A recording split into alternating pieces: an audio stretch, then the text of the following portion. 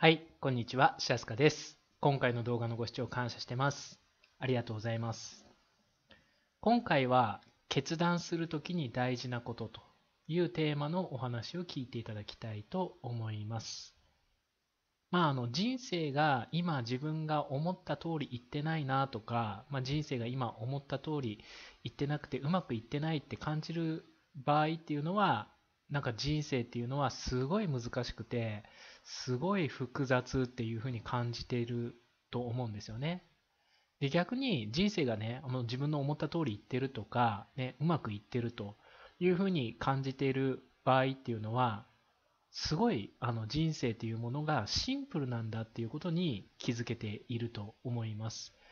で人生っていうのは本当にシンプルなんですよね。だものすごいシンプルなんです。でそのシンプルなものをシンプルだと感じられないのはやっぱりね本人の思考なんですよね。頭の考えているということが複雑にしてるんです。人生そのものはシンプルなんだけど本人が人生というものはすごく難しいものなんだ複雑なものなんだっていうことでどんどんどんどんね複雑に複雑にこう考えているという状態なんですね。でも本人がどれだけ複雑に考えても人生の方は極めてシンプル。宇宙というのも地球というのも人生というのも全部シンプルなんですね。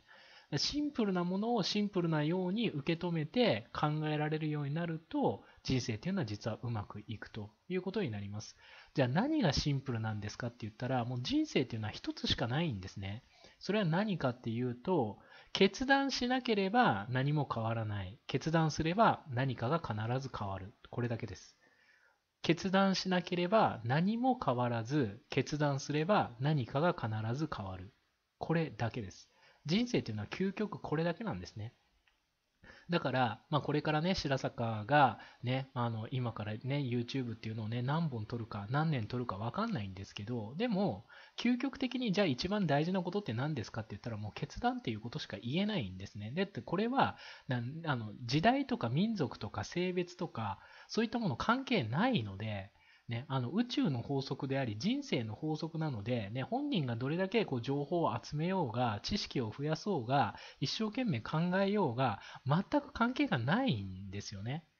だから今までも決断っていうのが一番大事だっていうのは言ってきてますし、これからもね、じゃあもう究極的にね、人生で一番大事なことを教えてください。それは何ですかって言われたらもう間違いなく決断としか言いようがないですよ。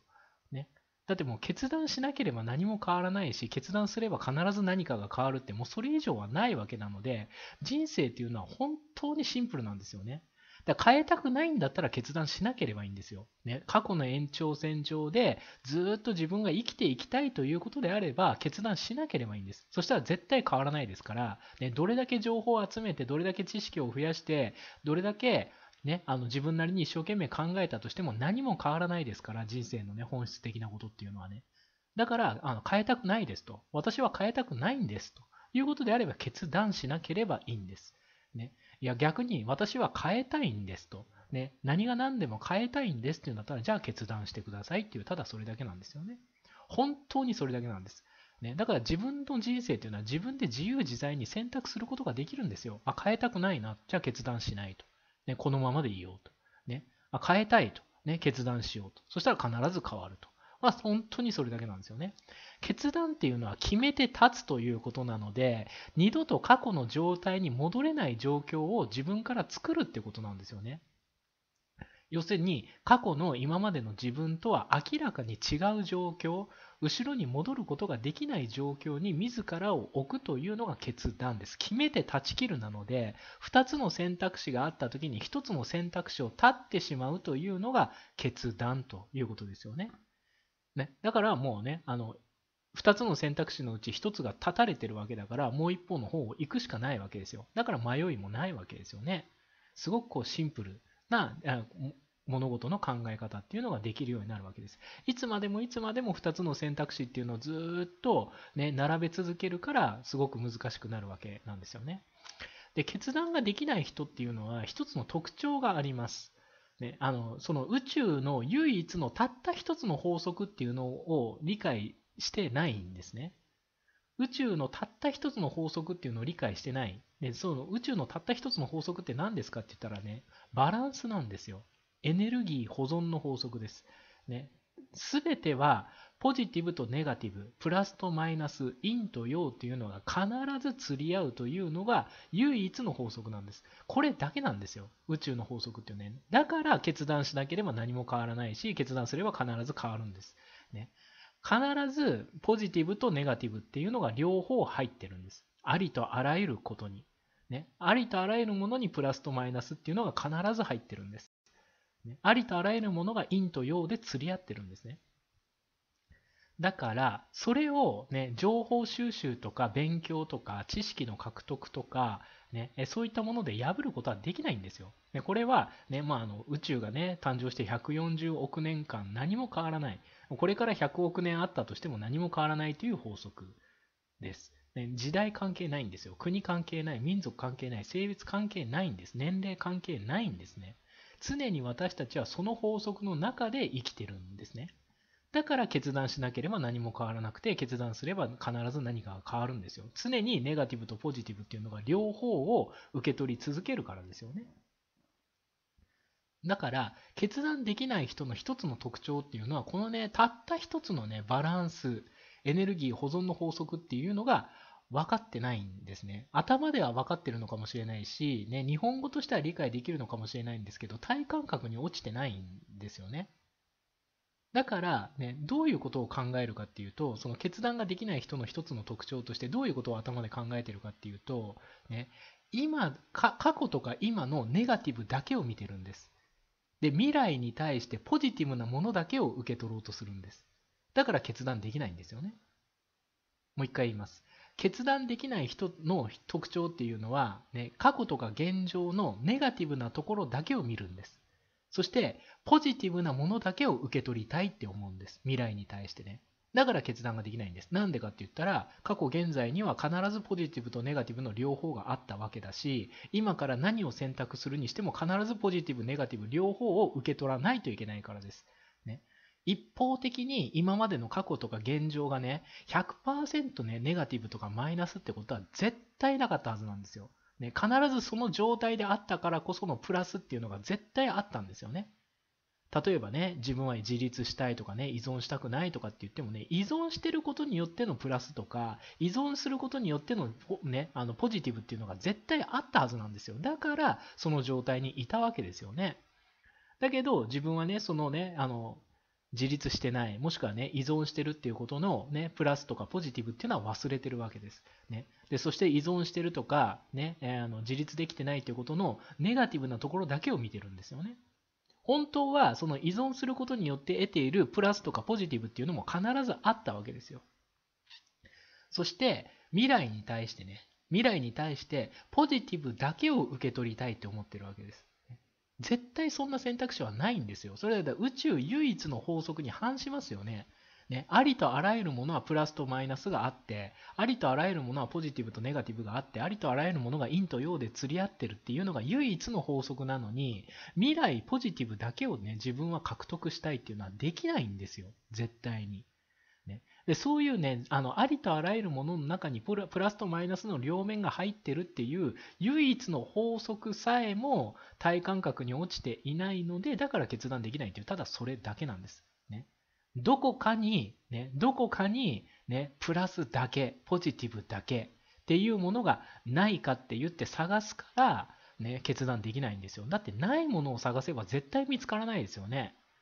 ね。ないものを探せば絶対見つからないですよ。ね、それはね、もう数年、数十年ね、ずっと思考のね、泥沼、底なし沼の中で、ね、自分は考え続けないといけないわけですよ。ね、ないものを探すわけだから絶対見つからないですよね。だからってことは、自分の頭の中から出ることができないってことですよ。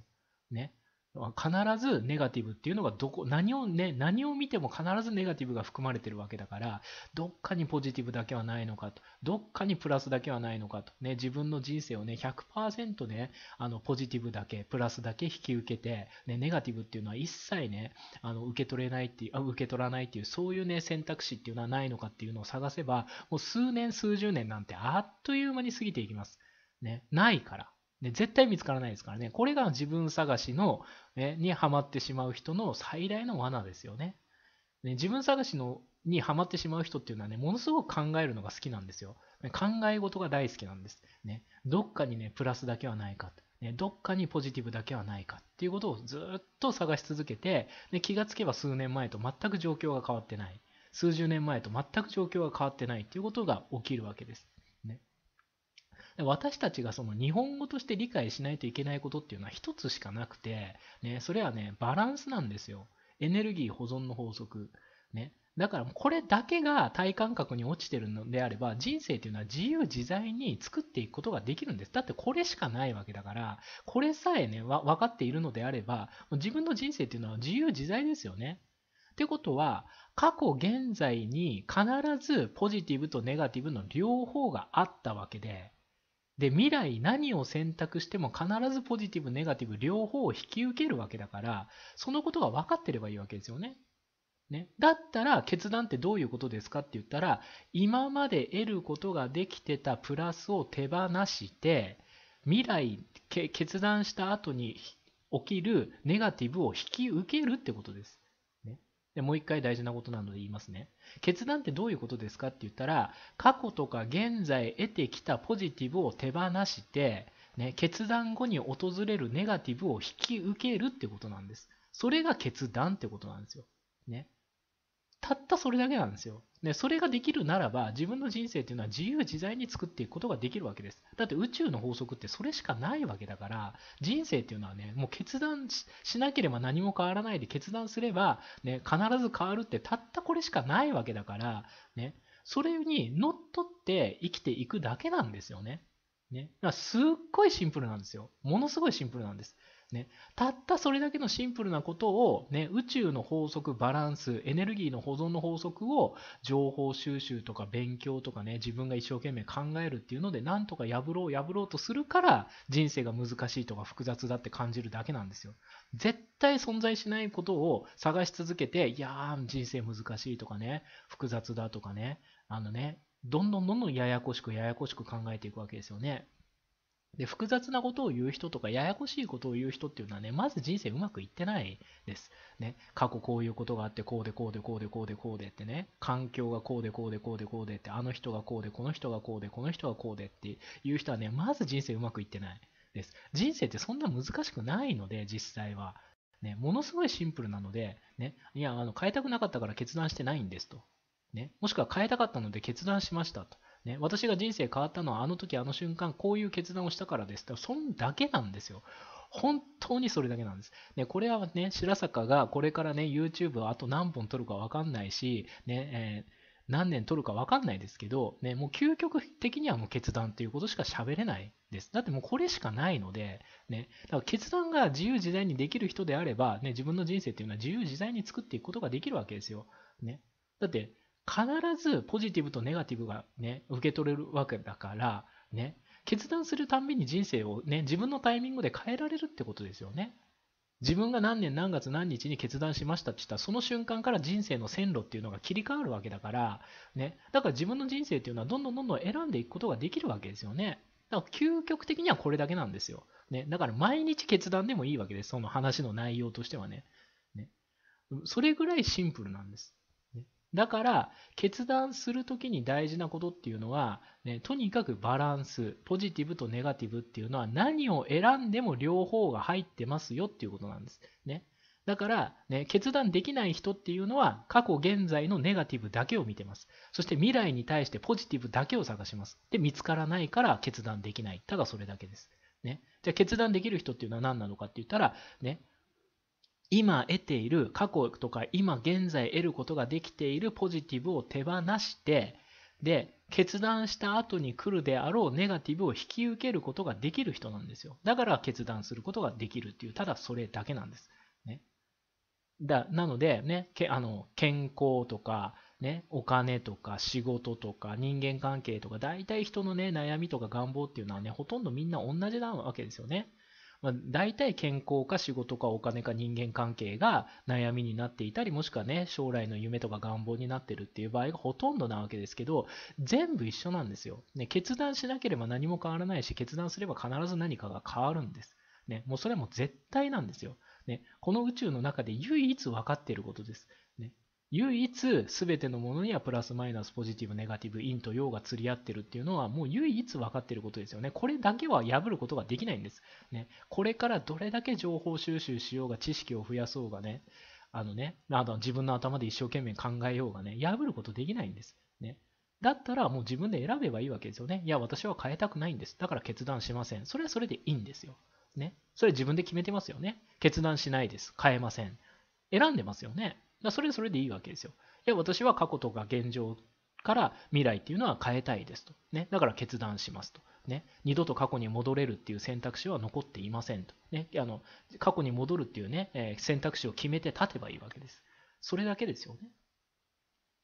なので、まだね、あの健康、お金、仕事、人間関係、どれを、ね、考えても同じなんですけど、ねまあ、具体例があった方がより分かりやすいと思うので、まあ、具体例っていうのを挙げたいと思います。まあ、例えば今回はね、一つだけこう結婚っていうのを取り上げてみたいと思うんですけど、結婚っていうのも一つの決断ですよね。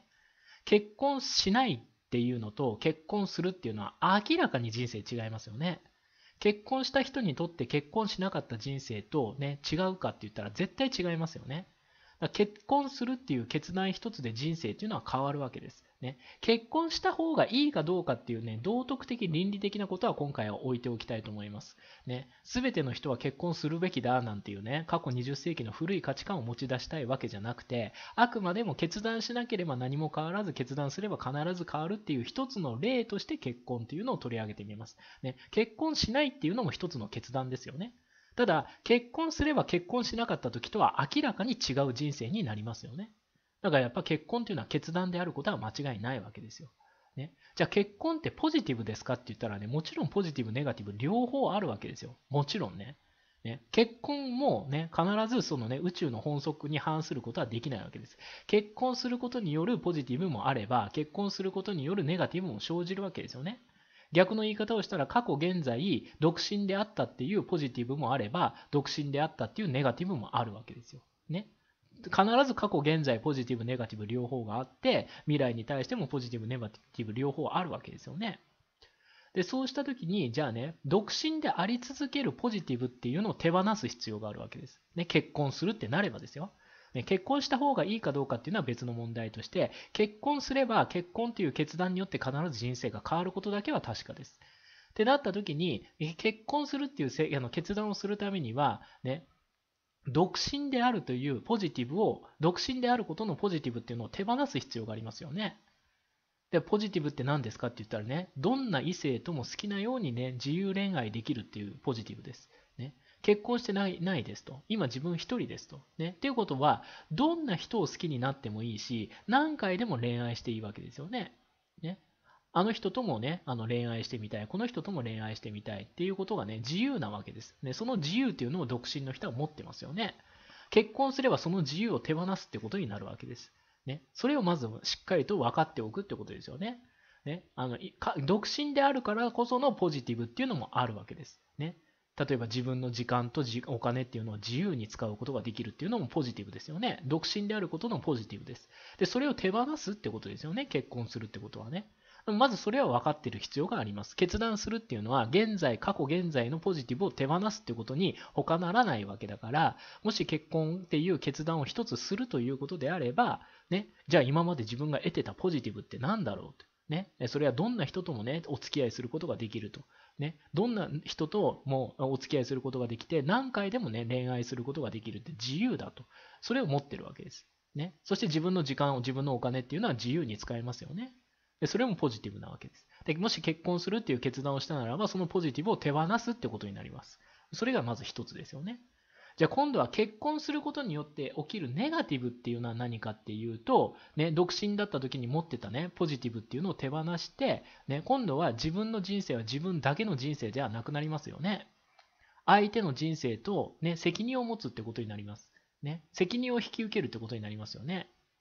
ね、自分だけが幸せであればいいと、ね、いうことじゃなくて、相手の幸せに対しても責任を取って、持って、ね、要するにこうね、自分の時間とかお金っていうのを共有で、2人の幸せっていうのを目指していく必要がありますよね。それだけこう責任っていうのを引き受ける必要があります。それが結婚するっていうことに関してのネガティブということになりますよね。だったら今までのね過去現在の独身であるポジティブを手放して結婚することに関しての、ね、ネガティブを引き受けるってことであれば、ね、結婚なんてね、えー、全然ありがたくもないし、ねえー、結婚する必要なんかないじゃないかっていうことでいけばねもちろん結婚する必要もないわけですよ、ね、今結婚するしないっていうのもね選べますよね。ほんのね、50年ぐらい前だったら、絶対全員結婚しましょうっていうね、なんか古い価値観があったわけですけど、今はね、結婚するしないっていうのも一人一人の自由選択ですよね。だから、ね、結婚することにおけるネガティブっていうのも当然あるわけなので、結婚しないっていう選択も一つあるわけです。ね、ただ今回はそのね、結婚するしないっていう善悪とか倫理の話をしたいわけじゃなくて、決断しなければ何も変わらないし、決断すれば何かが変わりますよねっていう話がしたいわけです。ね。じゃあなんで結婚っていうのはその独身の時のポジティブを手放して結婚後に来る未来におけるネガティブを引き受けてでもする人はするのかっていうことですよね。ね結婚する人もいますよね。なんでじゃあ結婚する人もいるのかって言ったら、ね、結婚することによって起きるネガティブと同じ以上、同じだけのね、ポジティブっていうのが存在するからですよね。結婚が100%ネガティブでポジティブゼロだったら誰も、ね、結婚なんかしないわけですよ。ね。いや、もう結婚にはね、ネガティブしかありませんと。ね、ポジティブは何もないんですと。ね、ネガティブだけですっていうんだったらね、誰も結婚なんかしないわけですよ。じゃあ結婚することにおけるポジティブって何なのかっていうと、これは真実の愛というのを体験できるってことですよね。真実の愛っていうのを体験できるわけです。やっぱり恋と愛っていうのは違うんですよね。恋っていうのは相手のいいところを見て好きになるってことですよね。ね、あの人はこういったところがね、いいところだと。ね、あの人はこんなにかっこいいとか、あんなあの人はこんなに可愛いとかね。そういうこう相手のいいところを見て、そのいい部分を好きになるっていうのが恋ですよね。ねでそれは独身でも何回でも体験できるわけですよ。あ、あの人こういったところがいいな。あの人はこういったところがいいな。ね、なんかあの人のことだんだん好きになってきたっていうのは全部あの相手のね、いいところを見てますよね。ねところが、ね、愛っていうのはそうじゃないわけですよ。ね、愛っていうのはね、相手のいいところだけを見るわけじゃなくて、相手のいいところと悪いところを両方を見て、一緒に人生っていうのを歩んでいくっていう道ですよね。よくあの結婚式でね、まあ、キリスト教系の、なんか教会でキリスト、あのね、結婚式を挙げるときはね、ね、あの、健やかなるときも、ね、ま、あの、やめるときも、ね、止めるときも貧しきときもっていうふうにこうね、神父さんが言いますよね。ね、あの相手がね、健康な時はもちろんだけど、病気になった時も、ね、もしくはそのね、自分たちの経済状態がすごくいい時はもちろんだけれども、厳しい時も、ね、相手のことをね、敬い、ね、慈しみっていうふうに、まあ、神父さんが言いますよね。だから、結婚っていうのは相手のね、ポジティブな面とかいいところだけを見続けてやるものじゃないわけですよね。当然相手は人間です。ね。あの自分と同じなんですよ。自分にポあのね、長所もあれば欠点もある。ポジティブなところもあればネガティブなところがあるのと同じで、相手にもね、当然ポジティブなところもあればネガティブなところもあるわけですよ。で、それをね、結婚したってことであれば、両方を見るってことですよね。両方を見た上で、ね、二人の関係が、ね、すごく厳しい、そのね、経済的に厳しい時も、ね、順調な時はもちろんだけど、厳しい時も、相手がすごくね、調子がいい時も、調子が悪い時も、健康な時も、相手が病気になった時も、共に、そのね、一回は人生のパートナーとして選んだ、そのね、運命共同体として選んだ相手と、ね、一緒に人生を作っていきたい。それが真実の愛ですよね。だから恋とは明らかに違うわけですよ。ね、恋っていうのは相手の好きなところだけを見て、あ、この人こういうところがいいなって思って、その部分が好きになればいいわけです。ね。で何回でも何回でもね、結婚しなければ、何回でも好きに、あの人をね、好きになっていいわけですよ。ね、で、その人はね、恋は知ってても愛は知らないわけですよ。愛っていうのは、ね、相手のね、ね、ポジティブはもちろんだけど、ネガティブも、相手の長所はもちろんだけども、欠点ももちろん見た上で、それでも私が一回あの選んだ相手だから、ね、あの一緒に、ね、あの人生を作っていこうっていうのが結婚ですよね。で、それは真実の愛なんですよ。なぜかっていうと、相手には必ずネガティブとポジティブが両方ある。だから人間だから当然です。ね。あの、ポジティブだけが存在する人間なんてこの世に一人もいません。ね。それはね、このようにね、あのポジティブな出来ポジティブとしか解釈できないね、え出来事がないっていうのと全く一緒で、ね、必ずこのね、え地球に存在する全ての人は長所と欠点の両方を持ってるし、ポジティブな面も持ってれば、ネガティブな面も持ってるわけですよね。で、それは宇宙のね、でありとあらゆる出来事と全く一緒なわけですよ。もしね、結婚できない、いやね、それはね、いい人がいないんだって言ったらね、幻想を見てるわけですよね。ね、100%完全無欠のね、あの欠点ゼロのね、ネガティブゼロな人をね、探してね、いや、いい人が見つからないって言ってるだけですよね。そんな人いないわけですよ。で、そういう人っていうのは、なんか自分探しをやってる人と似てますよね。ね、あの未来にポジティブだけを、ね、自分に足したいと。ネガティブは一切引き受けたくなくて、ポジティブだけを足したいって言ってる人とまあ一緒なわけです。ね、理屈は同じなわけですよ。で、それでね、なんか一生懸命ね、いや、人生は難しい難しいとかね、複雑だ複雑だとか難しい難しいっていうふうに考えてるわけですけど、それはね、人生を難しくしてるのはね、本人の思考なんですよ。ね、人生そのものは極めてシンプルなんです。ね。自分の目の前にいるありとあらゆる人がポジティブとネガティブを両方持っていて、ね、全ての人がプラスマイナスあって、長所短所あって、ありとあらゆる出来事にポジティブとネガティブが両方含まれてるっていう、たったそれだけのことを理解したならば、ね、決断することはできるわけですよ。ね。要するに変えたくなければ決断しなければいいんです。ね。いや、もっと自由恋愛を楽しみたいと。ね。あの、いろんなね、異性の人とね、一緒にね、気兼ねなくね、ご飯食べに行ったりね、飲みに行ったりね、友達と遊びに行ったりしたいって言うんだったら、ね、別に変えたくないわけだから、だから決断しなければいいわけですよね。それはそれで一つの人生なわけですよ。ね、いや逆に変えたいと。ね、今まではね、恋をしてたけど、ね、これからは愛を作っていきたいと。ね、誰かとね、人生を、ね、運命共同体として、どんな困難があっても2人で乗り越えていきたいと。ね、この人にはネガティブもある。だけど、私には別のポジティブがあるから、ね、この人が本当に困った時っていうのは自分が本当に支えていこうっていうことで、相手のネガティブを何とか自分のポジティブでこうね、埋めていこうっていうふうにね、あの協力していくって、それが本当の愛ですよね。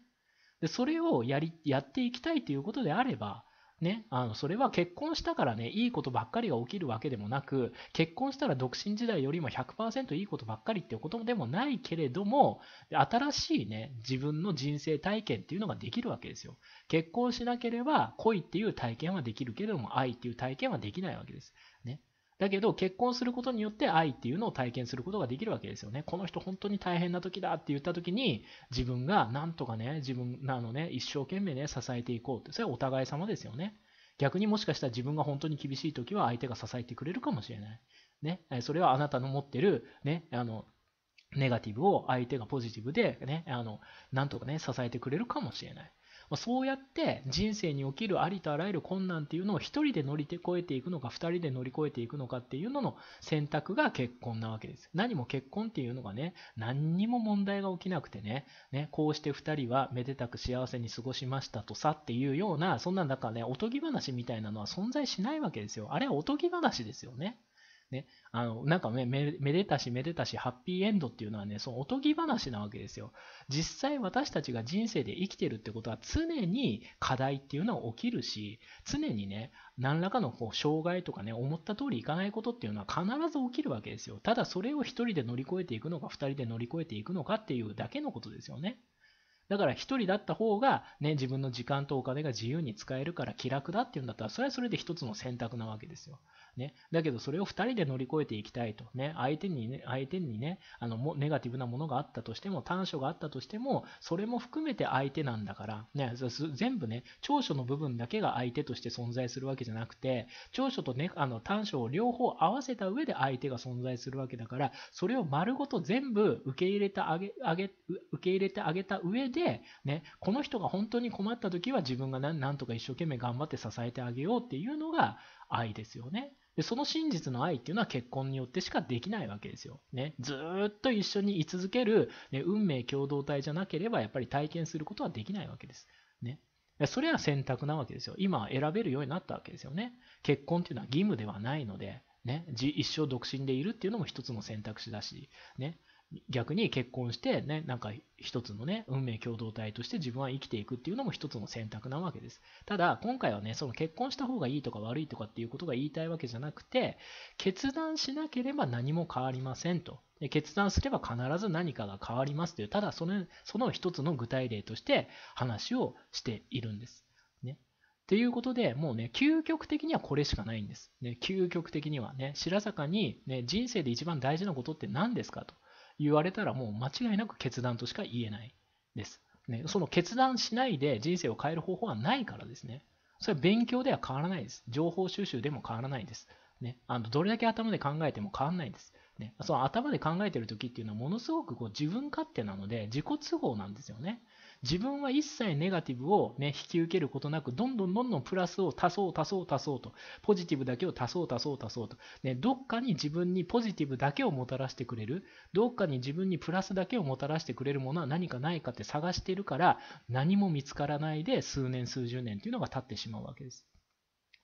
でね、こんなにね、一生懸命情報収集してるのに、こんなに一生懸命勉強してるのに、こんなに一生懸命考えてるのに、ね、ないんですと。見つからないんですと。ね、人生ってなんて難しいんでしょうと。ね、難しくないんですよ。簡単なんです。シンプルなんですよ。ね、両面ありますと、すべてに以上。ね、すべての人は両面持ってるわけです。ね、長所だけとかね、完全完璧のね、無欠の人なんてね、存在しないわけですよ。ね、それが分かってた上で、ね、結局人生っていうのはね、生きてる間にどれだけ体験を増やせるかっていうだけなんです。自分が知る世界っていうのをどれだけね、拡大していきたいかっていうだけなんですよ。ね、自分がね、あの80年生きたとか100年生きたっていう、そのね、時間の長さはもちろんだったとしても、ね、結局30歳から80歳までの50年間ね、体験が増えてないっていうことであれば、その人の知ってる世界っていうのは広がらなかったってことなんです。逆に、たとえね、今だったら60とかだったらね、多分ね、あの、早死にっていうかね、我が国で亡くなってるかもしれないけれども、ね、60までにね、もういろんな体験を、いろんな場所に行って、いろんなことをして、いろんな体験をした人であれば、その人はね、60歳までの人生でものすごいたくさんの世界を知ることができたわけですよ。実際体験することができたわけですね。だから結局ね、自分がどれだけの世界を見てみたいか、そしてどれだけのことを体験してみたいかっていうことに尽きるんですよね。でそれを結局ね、世界を広げていきたいとか体験を増やしていきたいっていうことであれば、もうこれは簡単なんです。ね、決断以上です。過去の自分に戻るという選択肢を断つんです。ね、もう戻れないと。ね、自分にはね、戻るという選択肢がないと。過去の自分に戻るという選択肢がないっていう状態を作って、もうね、目の前が一本だからそれ行くしかないということなんですよね。決断ができないっていうのは結局不安だからですよね。怖いんですよ。ね、頭でいろいろ考えててね、なんかすごいね、環境のせいでどうしようもないんだとかね、他人の人間関係でどうしようもないんだとかって言って、いろいろこうね、理屈をこねる人がいるんですけど、ね、そんなこと関係ないですよ。怖いんですよ、単にね。だから保険をかけたいだけなんですよね。いつまでも選択肢を2つ、3つ、4つ、5つっていうふうにね、あの持ち続けたいだけなんですよ。もしね、その1個だけが必ず100%絶対うまくいくって分かってるんだったら選択肢2つ持つ必要ないんです。ね、これは絶対うまくいくと。いや、もしくは絶対自分でうまくいかせると。ね、絶対これはね、自分が何が何でも、どんなことがあっても、絶対これはうまくいかせるって言うんだったら、選択肢2つ持つ必要ないんですよ。だって1個がうまくいくって分かってるわけだから。で、それは、ね、偶然じゃなくて、自分でうまくいかせるんです。ね、無理やりでも絶対にうまくいかせるんですよ。もしこの人を幸せにするって決めたんだったら、何が何でもその人を幸せにするためにね、やれることを全部やるんですよ。ね、そういう覚悟とか決意の問題なんですよね。だから人生っていうのは非常にシンプルなんです。非常にシンプル。ね、変えたくないんだったら決断しない。先送りする。ね、変えたいんだったら決断する。そしたら必ず変わる。もう以上です。ね、究極的にはこれだけなんです。ね、それを、ねあのね、決断しないで変える方法はないかとかね、今のポジティブを手放すことなくポジティブを足すことはできないかとかね、ネガティブが一切発生しないポジティブな方法はどっかにないかとかって考えるから、ないものを探すから、だからどこまでも複雑化していくんですよ。ね、で複雑化させてるのはで人生でも宇宙でもないわけです。本人の思考なんですよね。だから決断するときに大事なことっていうのは、今まで得ることができていたポジティブを手放す。そして決断することによって起きるネガティブを引き受けると。それだけなんです。ね、それさえできれば、ね、必ず変わっていきます。今まで体験することができなかった新しい世界、新しい人生体験っていうのをしていくことができるんですね。でそれはね、まさに一人一人が選んでるんですよ。そして人生っていうのは、なんかね、思い通りいかないとかね、なんか偶然が起きるとかっていう風にね、感じてる人もいるんですけど、それはね、物のの見方がね、短期的なだけなんです。ね。1日とか1週間とか1ヶ月とかね、ま3ヶ月とかね、そういうね、短い期間だったら人生っていうのは偶然っていうのはあるんですよ。ね、自分が想定してなかったね、あの不運とか幸運とかっていうのも起きるんですよ。ね、そういうね、短期間のものっていうのは、ね、こう不確実なので、誰にも予測できないから、ね、もちろん自分自身にも予測できないから、ね、なんかね、すごいね、こうね、偶然としか思えないようなことが起きたとかっていうね、えことは短期だったらあり得ます。でも、ね、10年とかっていう長期だったら絶対ないです。絶対ないです。人生っていうのはね、もう必然だっていうことが必ず分かります。ね、あの必ず人生というのは必然なんだということが分かります。ね、それは環境のせいでもなければ他人のせいでもなくて自分が決断したかどうかだけなんです。ね、10年前と10年後の自分が一緒だっていうんだったらね、どこでも決断してないっていう、ただそれだけなんですよ。ね、で10年前と自分10年後の自分が別人だっていうんだったらどっかの時点で決断をしたっていうだけなんですよ。本当にそれだけなんです。ね、私たちがね、今までね、あの生まれてからね、このね、数十年間で何歩歩いたかっていうのはわからないですけど、ね、何歩何、何万歩、何十万歩、何百万歩、ね、歩いたかわからないですけど、偶然富士山の頂上にいましたってないですよね。絶対ないんですよ。これから数十年ね、生きててね、なんかよくわかんないんですけど、偶然ね、富士山のね、頂上に立ってましたなんてことはね、ないんですよ。やっぱり歩き続けることが大事ですよねとか、絶対ないんですよ。絶対ないです。ね、富士山の頂上に立っている人っていうのは間違いなく富士山に登るって目標を立ててるんです。ね、そしていつどこでどのようにして、ね、登るかっていう計画を持ってるんです。そして実際富士山に行ったら、ね、一歩一歩一歩一歩歩くっていう富士山を歩くっていう具体的な行動をとってるんですよ。その目標、計画、行動っていうのがちゃんと揃ってるから、だから富士山の頂上に立ってるわけで、ね、立て立つことができてるわけで、ね、ただね、漫然とね、あのね、どれだけ歩き回ってもね、実際、あのね、富士山に偶然頂上に立ってるなんてことは起こんないんです。ね、だから人生っていうのはね、あの究極的にはね、全て必然なんですよ。本人がその状態を望んで、その状態を作るために計画立てて、それそこに一歩でも半歩でも近づくために行動を積み重ねていったっていう、その結果でしかないんですね。短期的には偶然も起きるし、なんかね、あの人は運がいいなとかって思えるようなことも起きるかもしれないですけど、長期だとないです。ね、長期は必然です。ね、自分の思う通りです。ね、思った通りなんです。ね、変わってない、10年前と自分の人生は全然変わってないっていうんだったら、それはね、10年間でどこでも決断してないってことなんです。ね、変わってるってことは、この10年間の間に必ずどっかで、ね、あの過去の自分には二度と戻れないっていう状況を自ら作ってるんです。ただ、それだけなんです。ね、でそれはすごく厳しいことなんですけど、ね、環境のせいでもないし、他人のせいでも一切ないっていうのは厳しいことなんですけど、だからこそ自分の人生っていうのは自由自在に作ることができるんです。ね。もしね、自分の人生が環境のせいなんだと、自分の人生が他人のせいなんだって言ったら、環境も他人も変えられないわけだから、ね。だから自分の人生は固定されてしまいますよね。ね。動かせないわけですよ。ね。他人がね、こういう性格だからね、こんな性格じゃなくて違う性格であってほしいってどれだけ念じたとしても変わんないわけだから、ね、相手のせいで自分はこういう風になってるんだっていう風に考えてると、ね、絶対原因を変えられないわけだから結果も変えられないわけですよ。でも人生っていうのは10年とかっていう長期で見たときは絶対必然なので、ね、必ず自分の決断によって人生っていうのは選択できるようになってるし、それに気づくことができるような時期っていうのが必ずあるので、だったら、ね、これは自分の人生というのは100%自己責任で、環境のせいでもなければ他人のせいでもない。自分が決断してるかどうかっていうだけの問題なんだっていうことに気づければ、ね、自分の人生は自分で自由自在に選べるってことなんですよ。だからものすごく厳しいんですけど、でもね、ものすごく可能性のある話なんですね。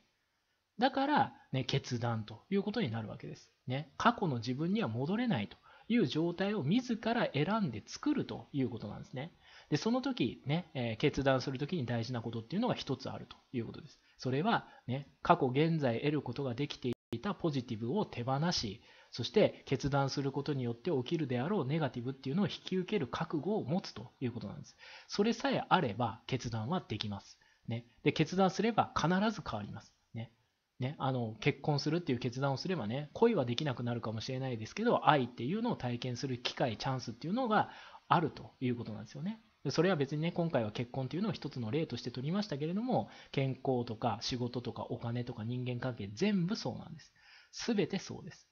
決断しなければ何も変わらず、決断すれば何かが必ず変わる。これはね、あの140億年間、ね、地球誕生して46億年、ね、あの人間がね、えー、や今まで歩んできた数千年、そしてこれからの数百年、数千年、絶対に変わることがないね、宇宙唯一の真理であり法則です。ね、私たちはこのバランス、エネルギー保存の法則っていうのを情報収集とか勉強とか知識の獲得とかでは破ることはできません。もちろん自分の頭の中で一生懸命どれだけ考えても無駄です。ね、もしそういうね、えー、ところに入り込んでしまうと、もうね、自分の、ね、考えてるっていう思考のね、泥沼、底なし沼から抜け出るっていうことができなくなります。じゃないです、ね。複雑なのは人生じゃなくて思考なんです。人生は極めてシンプルです。ね、決断しなければ何も変わらないし、決断すれば何かが必ず変わる。それはすなわち、今まで得ることができていたポジティブを手放し、ね、そして未来、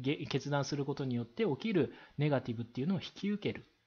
その条件を満たすということだけなんですね。そうすれば今まで全く体験することができなかった新しいポジティブも体験することができるようになるということです。あとはあなたが生きてる間に、ね、60年、80年、100年、120年生きてる間にどこまであなたが知る世界を広げたいか、どれだけね、新しい体験をしていきたいかっていうまさにあなたの自由意志にかかっているというお話です。はい。今回の動画がですね、あなたのお役に立ったということであれば、ぜひグッドのボタンを押して応援していただけると嬉しいです。チャンネル登録もよろしくお願いします。そして現在ですね、メルマガ登録していただいた場合は、特典教材をプレゼントしていますので、ぜひこの機会にメルマガを登録してください。はい。最後までご視聴くださり感謝しています。ありがとうございます。白坂慎太郎でした。それではまた。